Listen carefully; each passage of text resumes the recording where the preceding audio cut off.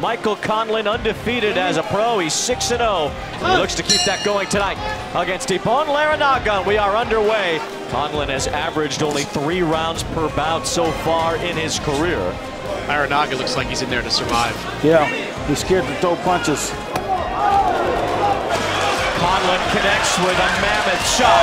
And Shot into the corner sends Larrinaga down. Michael Conlan won every single round, it feels like.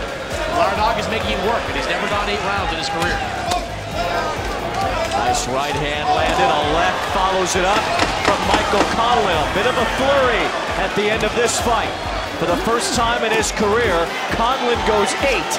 By way of unanimous decision, still undefeated Michael Big Conlan.